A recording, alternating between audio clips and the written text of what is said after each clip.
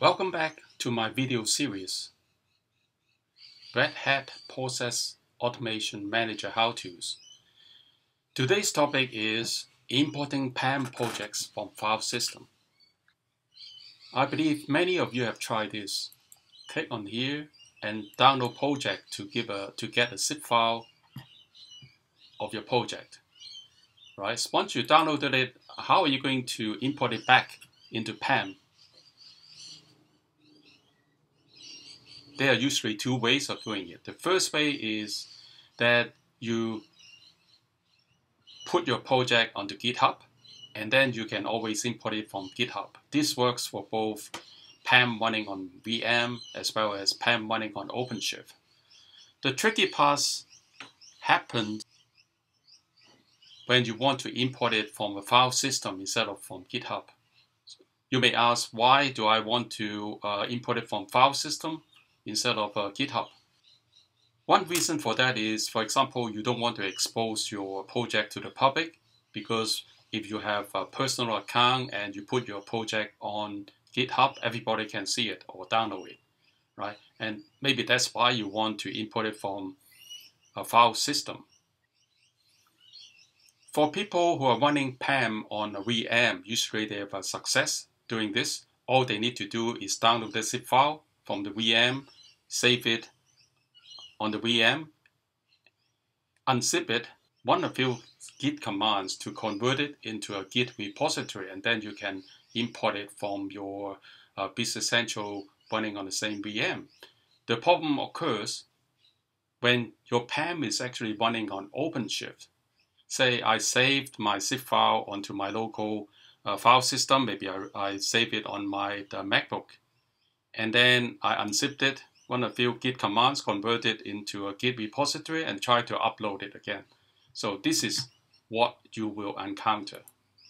I go to a particular workspace, I try to import it.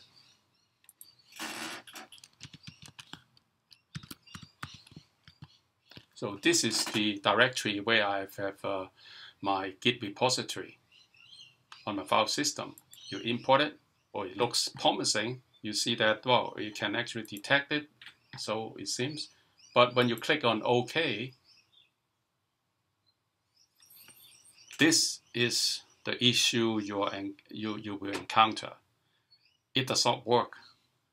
The reason why it does not work is that when you uh, specify file system, the file system has to be the same file system that is running Business Central.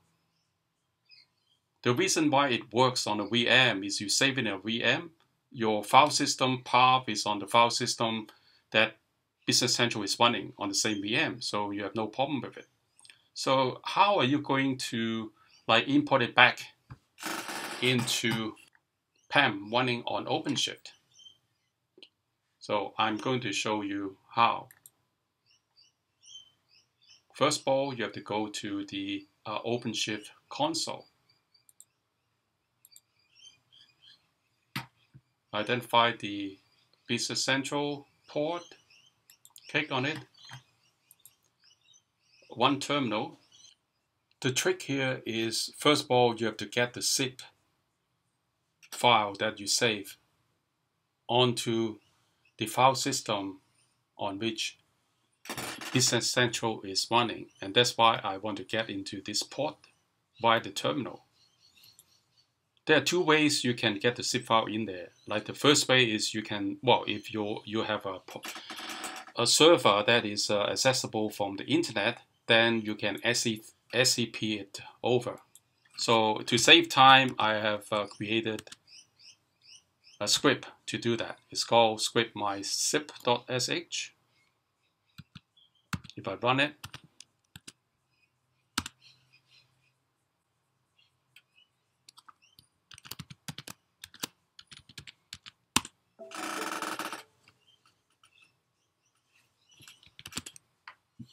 Now I get my uh, zip file over now.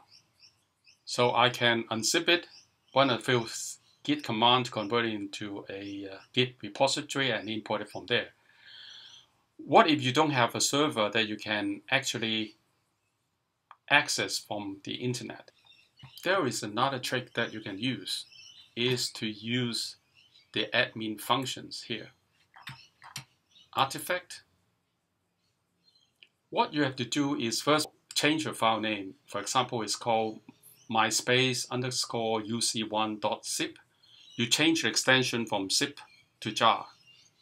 And then what you want to do is want to upload it.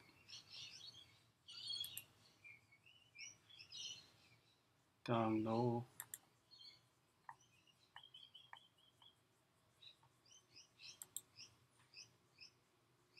jar. You say upload. Click OK. So you need to uh, give it the uh, coordinates. Let's say, well, use some uh, strange name so that uh, make sure that it's not going to have a collision with your other projects.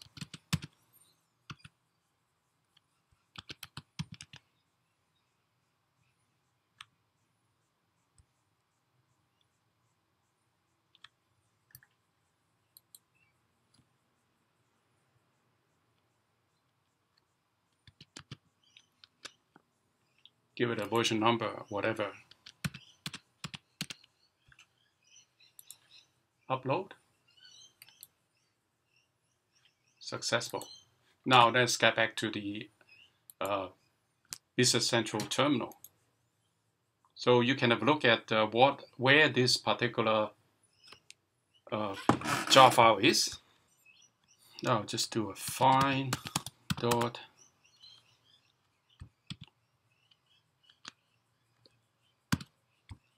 repository name uc1 jr. Um,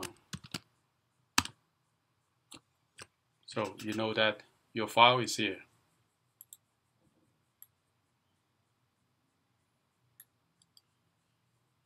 Next thing you want to do is to unzip it, right? In this particular case, it's unjarred, just using the jar utility. C, uh, see, X, V, F.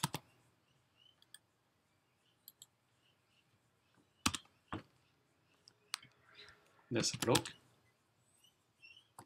So it have created this project called project. So I just want to change it to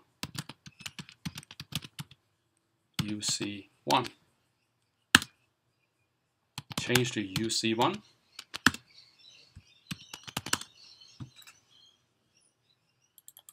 the path is this. Right. Before I do that, I need to run a couple of uh, a few the git command to convert it into a git repository. Git init, git add everything, and then git commit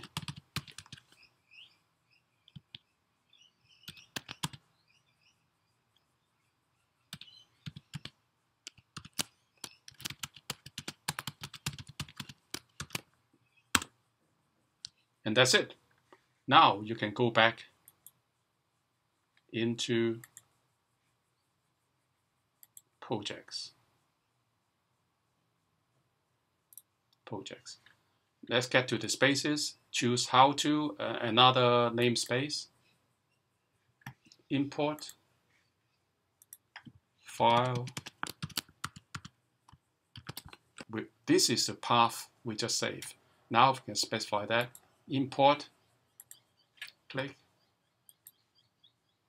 Okay, now it's importing everything.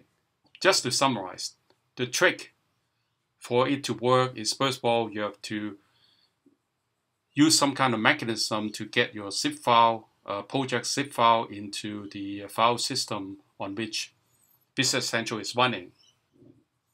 And then you unzip it or unjar it and then run a few git commands to convert into a git repository. And once you've done that, you can go back and import it.